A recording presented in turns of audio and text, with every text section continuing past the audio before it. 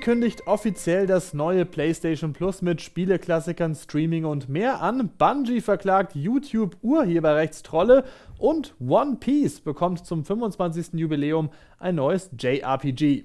Hossa Internet, ich bin Michael Obermeier und das und mehr gibt's jetzt in den News. Diese News werden euch präsentiert von NordVPN, eurem Partner für sicheres Internet. Geht auf nordvpn.com/gamestar oder nutzt den Gutschein GameStar, um euch riesige Rabatte auf das Zwei-Jahres-Paket sowie ein Bonusgeschenk zu sichern. Ganz offiziell hat Sony seinen komplett überarbeiteten PlayStation Plus Service angekündigt. Wie zuvor schon von Insidern gemunkelt, fusioniert damit die Multiplayer-Funktionalität des alten PS Plus mit dem Spielestreaming von PlayStation Now.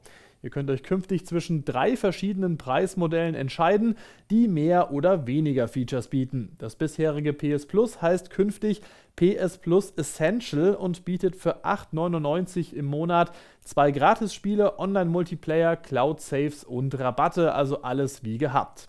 Für 13,99 monatlich gibt es dann die nächsthöhere Stufe namens PS Plus Extra. Das enthält zusätzlich zu allen Features von Essential außerdem einen Katalog aus 400 PS4 und 5 Spielen wie God of War, Marvel's Spider-Man, Miles Morales, Returnal und Death Stranding zum kostenlosen Download. Im teuersten Paket PS Plus Premium für 16,99 habt ihr zusätzlich dazu auch einen Katalog an PSP, PS1 und PS2 Spielen, die ihr entweder allesamt downloaden oder streamen könnt.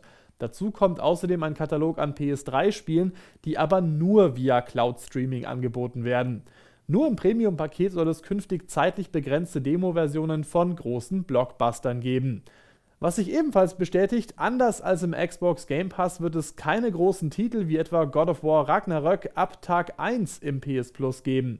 Im Interview mit GamePro erklärt uns PlayStation-Boss Jim Ryan, dass das eine bewusste Entscheidung sei. So stehe das PlayStation-Geschäft auf den drei Säulen einzigartige Hardware, starke Exclusives und interessantes Serviceangebot. AAA-Spiele zum Release in den Service zu integrieren, würde die Säulen vermischen und so auch aufweichen, was für Sony auch weiterhin keine Option ist. Okay. Starten soll dieses neue PlayStation Plus übrigens bereits Ende Juni. Noch ist nicht bekannt, wie genau Sony mit bestehenden Plus- und Now-Abos verfährt. Mehr Details dazu lest ihr im Artikel auf gamepro.de. Bereits letzte Woche hatten wir euch über die andauernden Urheberrechtsschwierigkeiten auf YouTube in der Destiny 2 Community informiert. Damals wurden plötzlich Dutzende Destiny-Videos bekannter Content Creator demonetarisiert oder gleich komplett entfernt, weil diese angeblich gegen Urheberrechtsvorgaben verstoßen hätten. Das Seltsame dabei, Bungie, das Entwicklerstudio und damit Urheber von Destiny 2, hatte mit der Sache nichts zu tun und wurde sogar selbst zum Opfer. Jetzt geht Bungie auch rechtlich gegen die anonymen Täter vor. Denn wie jetzt die Website Torrent Freak berichtet, erhebt Bungie vor einem Gericht in Washington Anklage gegen insgesamt zehn anonyme Täter.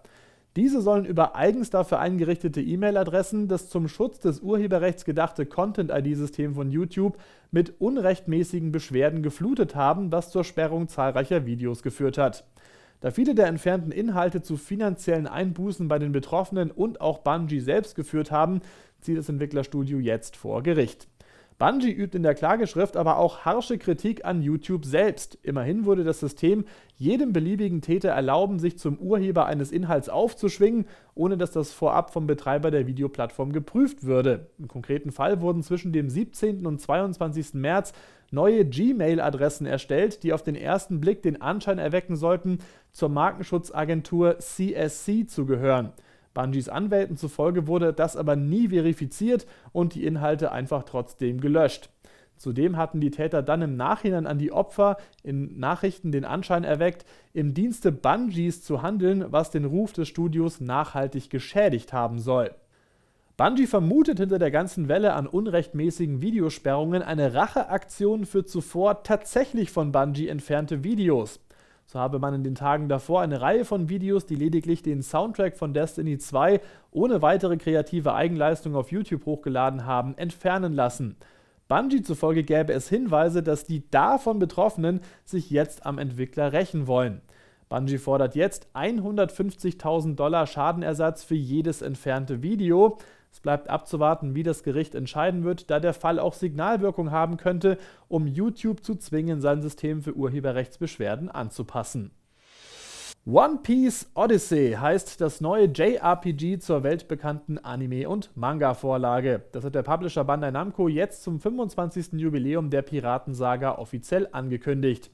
In Odyssey erlebt ihr keine bereits aus den Manga oder Anime bekannte Story, sondern eine komplett neue Geschichte, die aber Serienerfinder Eiichiro Oda geschrieben hat. Darin stranden die Strohhut-Piraten um Ruffy auf einer geheimnisvollen Insel, die ihr in 3D erkundet, Kämpfe zusammen mit eurer Party dann aber rundenweise absolviert.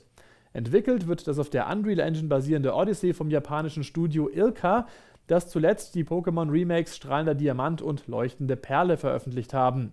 One Piece Odyssey soll noch dieses Jahr für PC, PlayStation und Xbox erscheinen. The Devil in Me heißt die vorerst letzte Episode der ersten Staffel der Dark Pictures Anthology. Und für diesen Abschluss hat der Entwickler Supermassive Games jetzt auch die Hauptrolle bekannt gegeben. Die Oscar-nominierte Jessie Buckley spielt darin die Figur Kate Wilder. Die gerät im Verlauf der Handlung in ein von einem irren Serienkiller bewohntes Hotel, Ersten Bildern zu The Devil in Me nach erinnert das an Filme wie Saw oder Hostel. Wie genau Kate Wilder in die Story passt, ist bisher noch nicht bekannt. Trotz Staffelfinale ist nach The Devil in Me noch lange nicht Schluss, denn neben fünf Spielen für eine zweite Staffel Dark Pictures arbeitet Supermassive außerdem am spielbaren Slasher-Film The Quarry für 2K Games. That's true art. Es sieht ganz so aus, als bekäme endlich auch die Xbox-Version von Minecraft offiziellen Raytracing Support. Denn die aktuelle Preview für Tester listet jetzt Raytracing im Xbox Store. Das zeigt Games-Journalist Tom Warren in einem Video auf Twitter. Ursprünglich war Raytracing für Minecraft bereits 2019 offiziell angekündigt und zwischenzeitlich auch in Videos gezeigt worden, wurde dann 2020 aber nur für die Windows 10 PC-Version ausgerollt.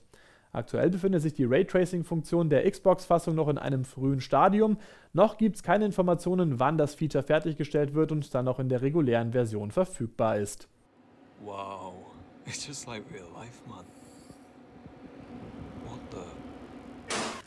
Und das war's schon wieder mit den News für heute. Danke euch fürs Zuschauen und wenn euch die Sendung gefallen hat, hat sie doch, oder? Dann gebt uns einen Daumen nach oben oder abonniert den Kanal. Schaut außerdem gerne auch unsere anderen Videos wie das hier zum Vampir-Abenteuer Swan Song oder diese Überraschung hier. Morgen gibt's die News mit Jules. Bis dahin, weiterspielen.